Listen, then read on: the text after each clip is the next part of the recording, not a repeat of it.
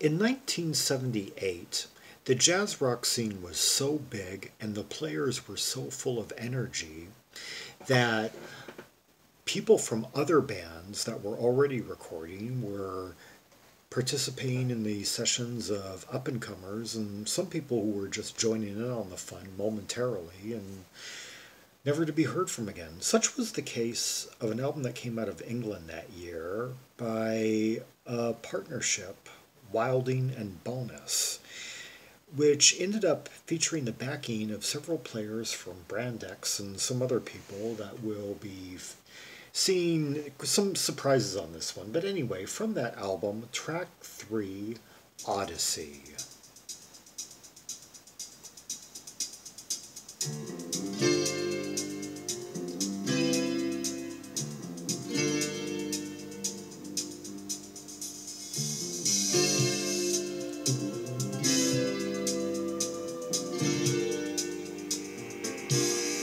Beautiful um, chords in a G minor tonality, um, emphasizing certain um, accents of that, and with that rattle of the percussion.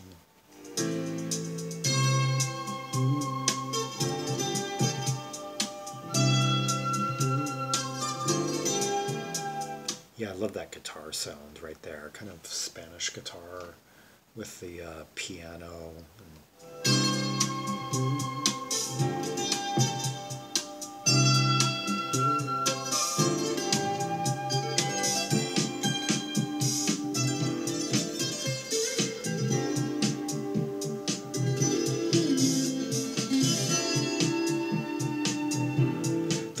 those flute like keyboard tones I think we're hearing are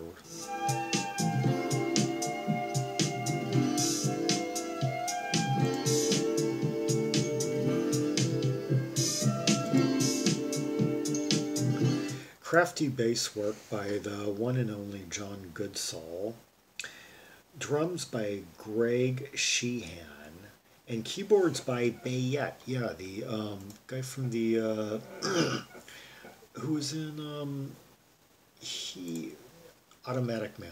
Yep. And uh, let's see here on the album. Uh, Danny Wilding plays flute, so that probably is actually it, it. It's so soft, but it. I was kind of thinking, but yeah, Danny Wilding on flute and. Um, Peter Bonus on guitar. And it seems like this is like the only thing that either of those two ever did other than maybe like one or two appearances on some like minor albums.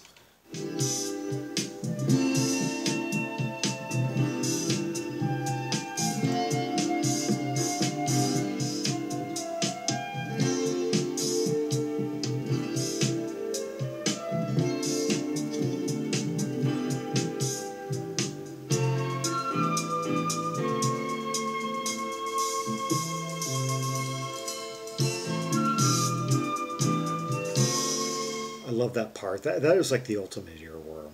That that that refrain right there.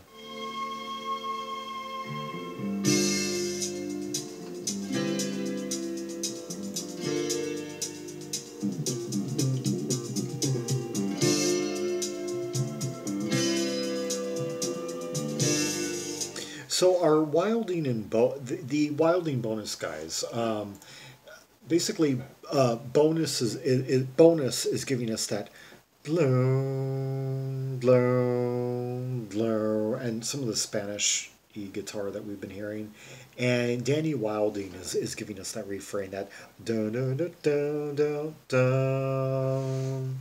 So so between the two of them, they they really are making this track, but um, there's also some good support on here. Um, the kind of like uh, oh, like kind of hi hat laden uh, rhythmic structure is provided by Greg Sheehan, an Australian drummer who had been in the early 70s Australian jazz rock band Mackenzie Theory.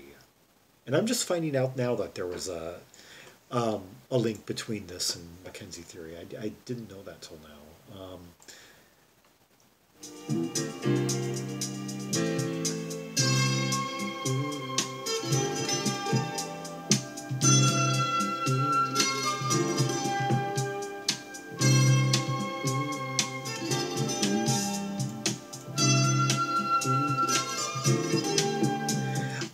interesting that John Goodsall is playing bass on this rather than um, guitar because he was the guitarist in Brand X. Percy, whereas Percy Jones um, played fretless bass in that band and had a very distinct bass sound. And, and this is obviously not Percy Jones' bass work.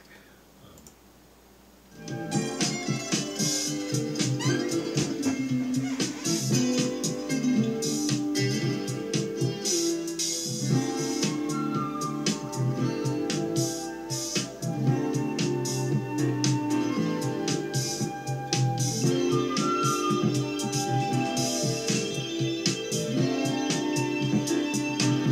sprinkly little keyboards, little tinkly, little like diamondy sparkle.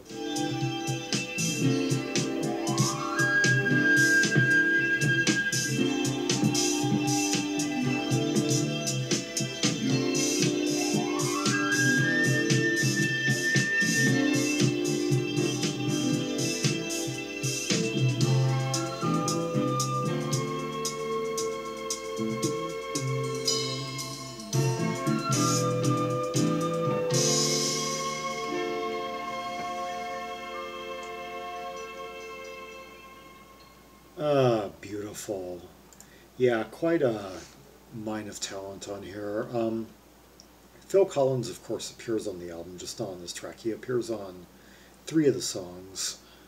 Um, let's see, Dick Cuthell has a hand in this. Yeah, the um, guy from Trifle. Yeah, um, who later played with the Specials. Um, and uh, of course, from uh, the two Automatic Man albums. And um, the mo- oh, and Mike Shrieve, also from Automatic Man, and um, Stomu Yamashita's Go, and of course um, Santana plays on like one of the tracks or maybe more. and um, most surprising of all, Kate St. Kate St. John appears on this um, years before she surfaced in Dream Academy. Um, I actually wasn't aware that she was around this early. I associate her more with the 80s onward. Um, like Virginia Astley. Um, in, in the early 90s, um, she did an album with Bill Nelson and Roger Eno, I think. Um, yeah. Um, appeared on Daryl Hall's second album. But yeah, I didn't associate her with, with this going back this far the late. Oh yeah, Channel Light Vessel was the band she was in with um, Bill Nelson. Um, yeah, didn't yeah. Um, actually, the other guy from uh, from Dream Academy, the the vocalist, he, he was he was around this early too. He was in a band called Alfalfa. Anyway, since that was over so quickly, um, let's hear another song from this album, Pleasure Signals.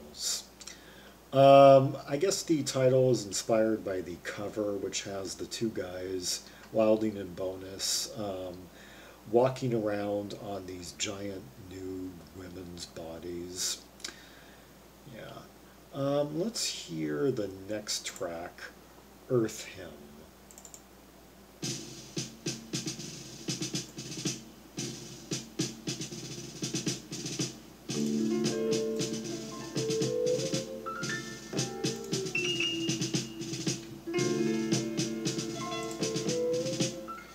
Beautiful piano over martial drums. And this time on this track, the drums are played by Preston Heyman. And keyboards are by Andy Clark. Uh, is it? According to this, it's it's it's the Bebop Deluxe guy. It's it's it's. I shouldn't say my Andy Clark because I like both of their. I, I like both Andy Clarks for what they've put out, but um. I've known I've known this I've known the Bebop Andy Clark a lot longer because I've been a Bebop Deluxe fan since 1990. Um, yeah. Um, that's, you know, I just found that out right now. I had no idea that he appeared on this album the same year that um, Drastic Plastic came out.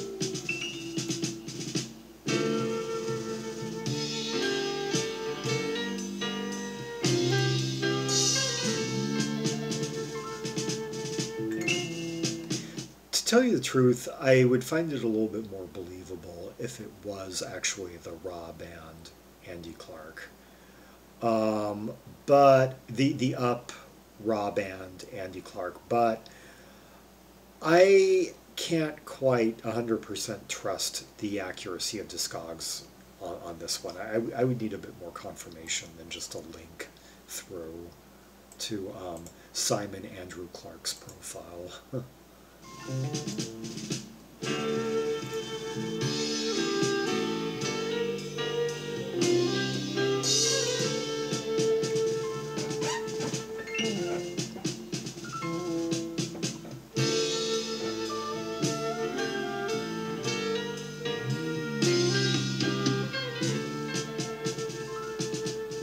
Notice how the flute um, is kind of like doubling up on the piano. It, it, it's all it, almost like like to the note exactly. Yeah, Danny Wilding's flute, and um, perhaps Andy Clark's uh, keyboards. If it's not if it's not Robin Lumley who's giving us those lovely piano lines.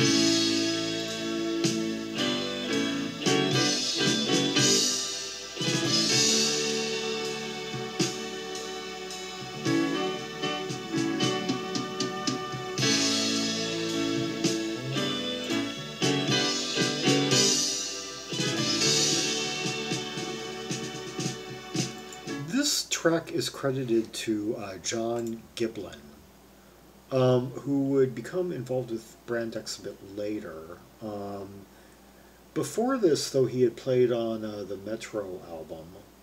Was was one of the support and was was also was basically in orbit with uh, Duncan Brown, yeah, one of the backing guys to the core of Metro who who went with went on with Duncan and um, also um, the Gonzalez, Lenny Zakatek um, Grapevine as well. Um, it even appeared on uh, albums by Steve Harley, um, the Chanter Sisters, heck, even uh, Jakob Magnússon, the Icelandic guy. Um, oh, um, one of the albums by Jim Rafferty, yeah, the second, uh, by the, uh, Gerry's brother.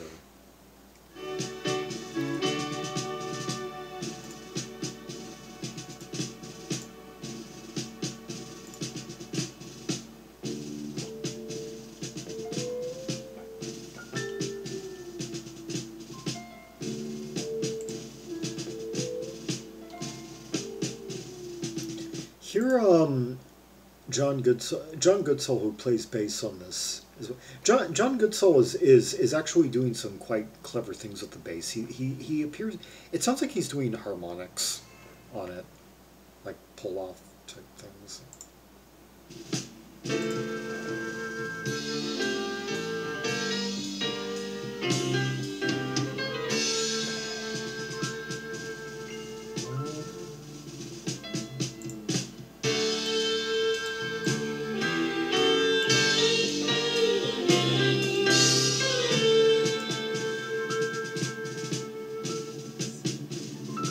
Way though uh, th- those notes, the the sustain, the the way that they kind of the notes kind of bend as they sustain, no,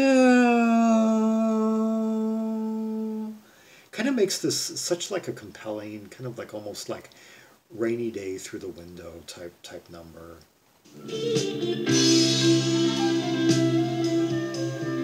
That vibe, like like sad yet yet yet beautiful.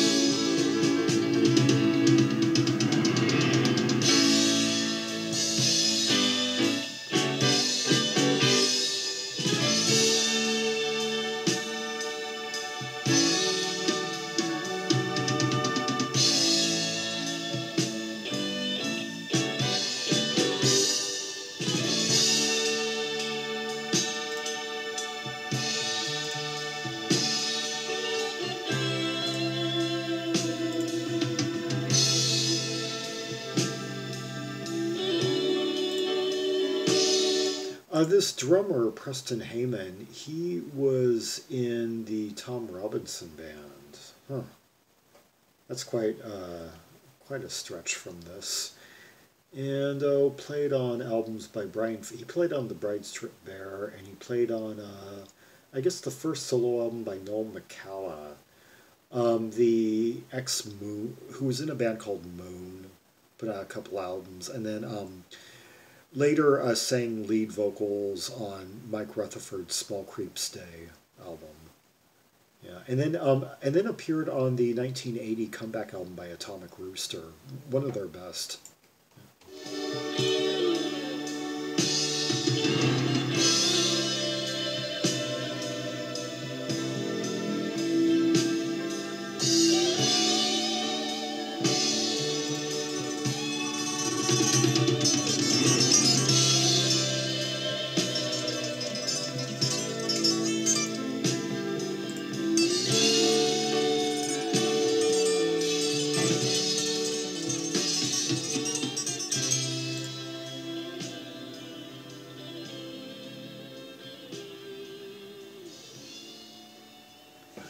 What was it that made that song so beautiful and compelling? All those sustained notes, all those slow, rising, falling notes, all the little droplets, the tinklets, sprinkly sounds, sustained, bendy tones, minor keys. Yeah, the kind of push pull rhythmic structure, all like slow for the most part, but like sometimes like a like a pause, other times kind of like a kind of almost like kickstart in a way. Yeah, a lot of just a, a lot of those push pull rise fall type contrasts over just beautiful, simple yet effective key centers. Yeah. Earth Hymn by Wilding Bonus from the album Pleasure Signals, and before that, Odyssey. Two wonderful songs from an album that brought a lot of talent together um, from the jazz rock scene. Um, a lot of people who um, just had a lot of energy around this time and, and just a lot of a lot to spread.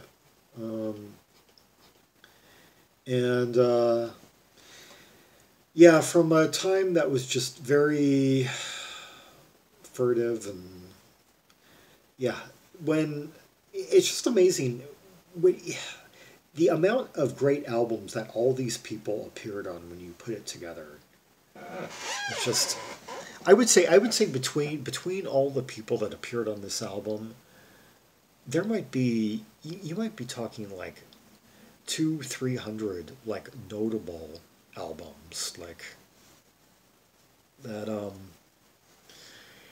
that these people spread and, and I, i'm just thankful that that when these people were were young and at the height of their abilities it's it's like um I, some of these people i wonder if they it's almost like they never even ate or slept. They were just constantly in the studio and laying down as as many licks as possible for posterity um, anyway, for more Rubies and Sapphires from the Wilding bonus album, see the directory of albums by English W artists. Um, Wilding and Bonus weren't really con- considered a, a, real band per se. They're often filed like as two separate entities, like Wilding separate slash bonus. But yeah, I yeah, I got on the W page.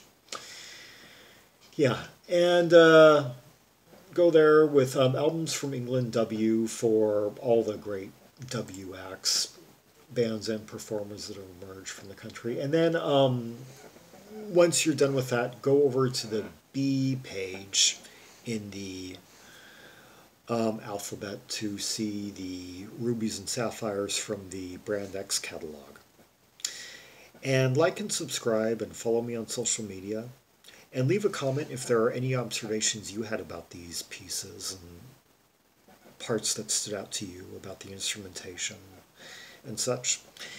And until next time, this is Zaragon, the world's most ear travel trimaximalist, signing off.